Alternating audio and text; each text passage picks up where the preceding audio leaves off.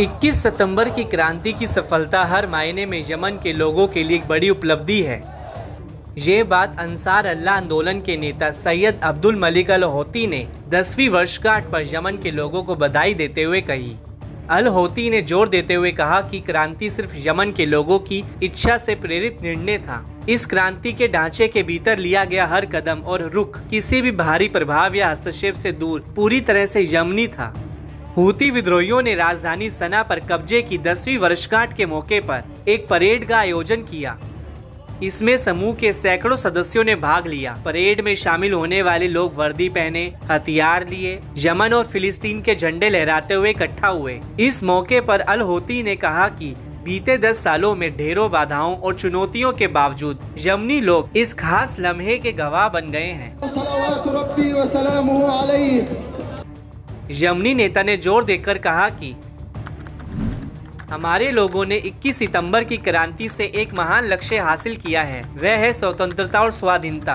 क्रांति का विरोध करने वाली ताकतें जिसका नेतृत्व अमेरिका और इसराइल कर रहे हैं, सबसे बड़ी हार है, क्योंकि उन्होंने देश पर सीधा नियंत्रण खो दिया है। इस क्रांति से सबसे ज़्यादा प्रभावित अमेरिका है, क्योंकि उसकी साम्राज्यवादी महत्वाकांक्षा देश पर हावी होने और उसके संसाधनों का दोहन करने की है।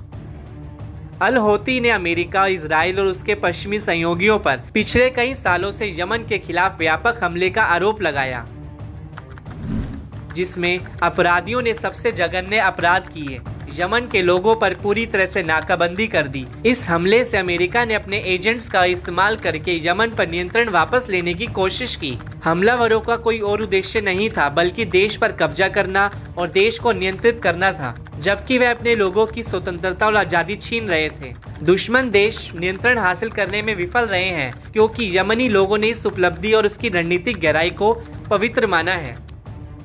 साथ ही अल होती ने बड़ा संदेश देते हुए कहा कि देश के पास अत्यधिक उन्नत शस्त्रागार हैं, जो कई देशों के पास नहीं है। मिसाइल क्षमताएँ इस विकास और प्रभावशीलता का एक प्रमुख प्रतीक है। यमन ड्रोन प्रौद्योगिकी नौ सैनिक शक्ति और जमीनी बलों के गठन और विकास के मामले में उन्नत स्तर पर है। वहीं हूती नेता ने फिलिस्तीनियों के समर्थन में कहा कि यमनी लोगों का रुख अडिग और दृढ़ है। वे सभी चुनौतियों, जोखिमों और साजिशों के बावजूद फिलिस्तीनी लोगों के साथ मज़बूत एकजुटता के साथ खड़े हैं। हमलावर गठबंधन की ओर से लगाए गए भयानक अपराधों और गंभीर नाकाबंदी के बावजूद, यमनी लोगों ने फिलिस्तीनी मुद्दे के प्रति अपनी प्रतिबद्धता में कभी कमी नहीं की है। साप्ताहिक 10 लाख लोगों की सभाएँ लगभग बिना किसी रुकावट के जारी रहती हैं। यमनी लोगों ने फिलिस्तीन पर अपना रुख नहीं छोड़ा है, न ही वह आर्थिक या मानवीय दबावों से प्रभावित हुए हैं। यमनी लोग इसराइल की ओर से फिलिस्तीनियों के खिलाफ नरसंहार किए जाने के दौरान चुपचाप नहीं बैठे हैं।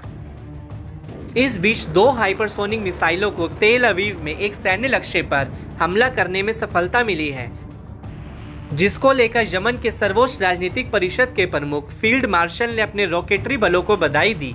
मेहदी मोहम्मद अल मशात ने कहा कि मिसाइल ने अमेरिकी, ब्रिटिश और इजरायली डिफेंस सिस्टम की सभी लेयर्स को बाईपास कर लक्ष्य पर निशाना साधा। इस दौरान यमन के सर्वोच्च नेता ने चेतावनी भरे लहजे में साफ़ किया कि आने वाले दिन आश्चर्यों से भरे हैं।